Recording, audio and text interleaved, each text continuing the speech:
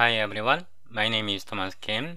Today is August 9, 2020. This is my 15th episode about vector calculus and classical electromagnetism. In this episode, I will discuss how to deal with international or Asian languages properly or how to deal with or create multilingual files and how to use advanced regular expressions with Unicode. To follow my current session, I highly recommend you to watch my previous video. In my previous video, episode 14, regular expressions in Qt Toolkit, I explained how to use QREX EXP or regular expression because my current session continues from my previous video, I highly recommend you to watch this video. We need source code from our previous episode. Please double click this link. In this website, please double click 014 regular expression.zip. Show in folder, unzip it, right click, rename, 15 Asian languages. Hit enter. Copy the folder. Paste it to your working folder. Now start Visual Studio. Go to File, Open, Project Solution. Click this solution. Click Open. Now press Control F5. In this state, this is a sample English text. 이것은 한글 텍스트입니다. I will copy this in the Google Translate, paste it here, change it to Japanese. Then select Japanese. Copy, paste. I will copy multiple times. Now save. Multilingual failed.txt. Now save. I will delete the text. Open again it seems to be working fine. Now I will close it and also close Visual Studio. Now right click, search, language, language settings. Here select administrative language settings, region administrative, current language for non-Unicode programs, it is Korean because I am Korean and I need to deal with Korean text. Now click change system locale, change it to, for example, select Japanese. Click OK. We have to reboot our machine. After restarting my machine, this episode continues. I've just restarted my machine. Start Visual Studio once again. Go to File, Recent Project and Solution. This is our project. In the Solution Explorer, Source, reg exp.cpp, double click this file. Now Ctrl F5. Click Open Multilingual failed.txt Open. As you can see, other than English text, all Korean text, also Japanese text are broken. We will address this issue in this episode. Now close it, close it. In this file, if we scroll down, we can find file save. We created this function in our previous episodes. So if you haven't watched my previous video, please watch it. I will copy the link and paste it here for your reference.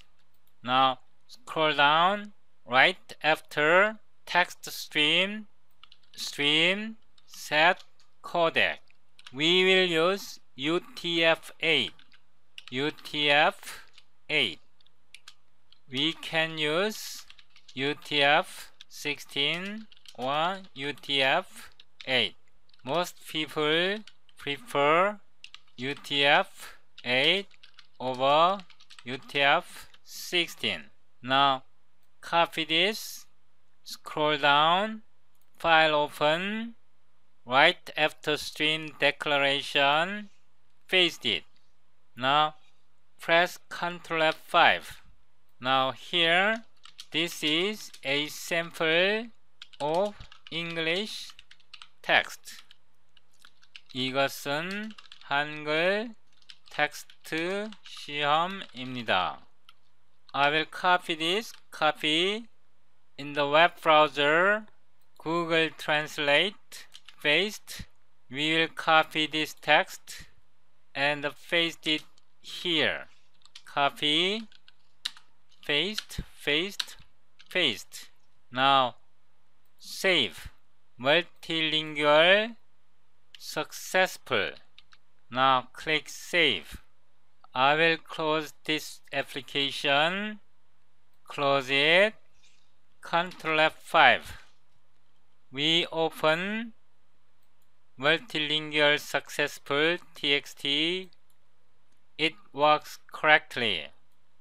Now close all right click search language language setting administrative.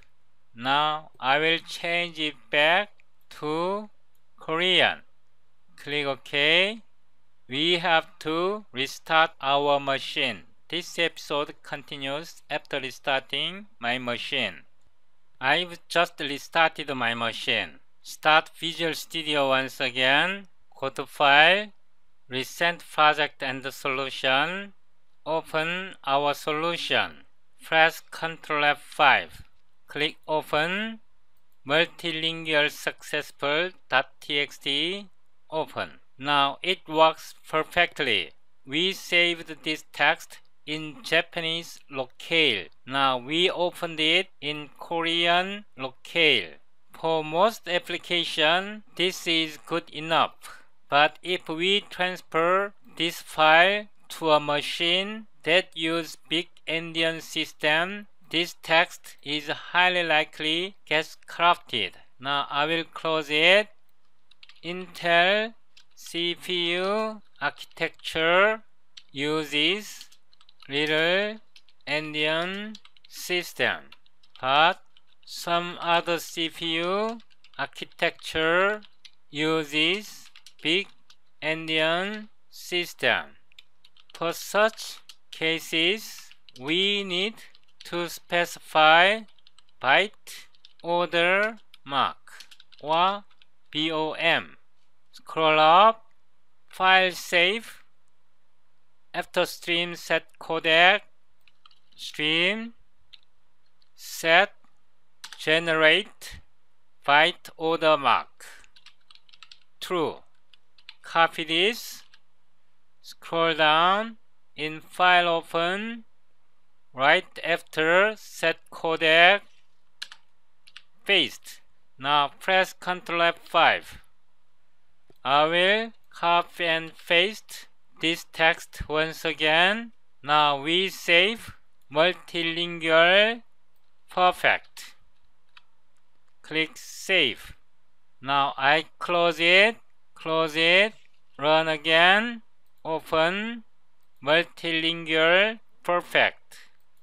I highly recommend you to set codec UTF-8 also use generate byte order mark this is online English to Korean dictionary website I copy drag and drop to text editor. This is English text. This is Korean text. This is garbage text. Now I drag and drop the same text to this application. this English text and Korean text is splitted. English text goes into here, Korean text goes into here. Now let's try once again. I drag and drop here English text, Korean text splitted smartly. How can we implement it? In our application, we can select only Korean text or only Japanese text. For this purpose, please visit Unicode character code chart by double-clicking this link. In this Unicode character code chart, East Asian script, Hangul syllable, please double-click it. This is Hangul syllable or Korean syllables. Korean syllable range is AC00, D7AF. These are hexadecimal numbers. So here this is angle bracket slash x. x means hexadecimal number. Copy, paste. This specifies range. Slash x. I copy this text paste, closing angle bracket. This regular expression represents one character or single character. So we can say plus. It means one or more. So with this, such, we found Korean text such, such, such, such. Japanese text is skipped we only find Korean text like this. Using this regular expression, I implemented this picture. For more information about regular expression, please refer to this web page. I will copy these two links, paste it here for your reference.